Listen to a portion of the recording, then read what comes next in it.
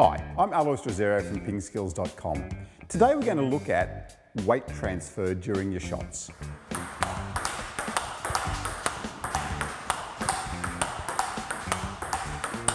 When we talk about weight transfer for your strokes, it isn't a big transfer from here all the way to here, 100% of your weight on one leg to 100% of weight on the other. So all it is, if you think about being in a balanced position, 50% of your weight on your left leg, 50% of your weight on your right leg.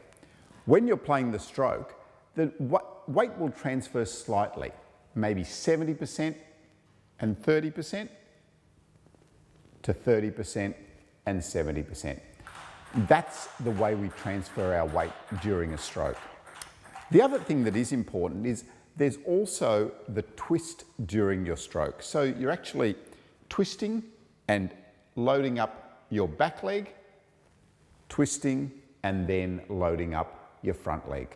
So a forehand would be load up your back leg, load up your front leg. That's all it is. It's not this to this, it's just this to this.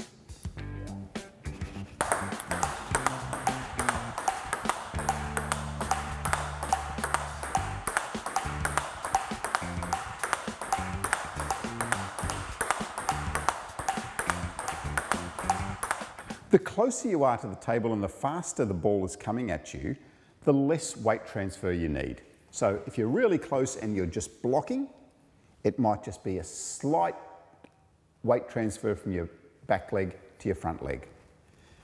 If you're further away from the table and you're wanting to generate more power, then you can think about having a bigger transfer from your back leg to your front leg, from here to here to generate extra power. And if you're going for a big smash off a high ball, then you're probably going to get maybe 90% of your weight onto your back leg and then transfer 90% to your front leg.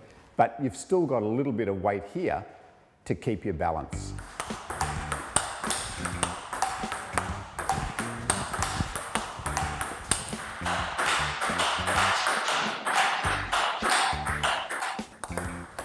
So why do we need the twist? The twist adds to our power as well. So we're getting the weight to transfer back with the twist onto your back leg and then as you twist forward it comes onto your front leg. Again, just enabling you to add more speed and power to your strokes. When you're blocking, you need very little weight transfer. Just hold your balance and a little bit of weight transfer from your back leg to your front.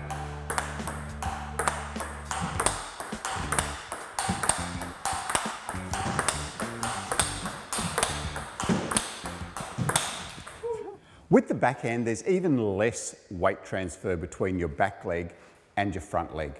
So when you're blocking, basically you're just holding your position and controlling the ball here with a very balanced position 50% on both your back and your front legs.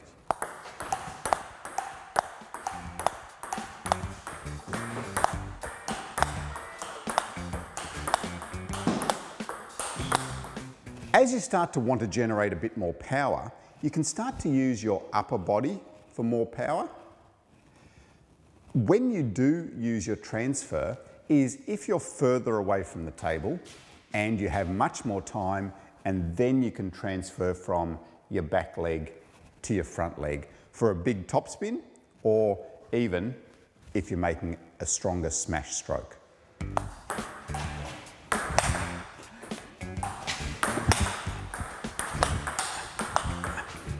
When you're close to the table, your upper body is coming up. As you get further away from the table, that's when you can start to add the twisting of the waist, similar to what we did on the forehand side.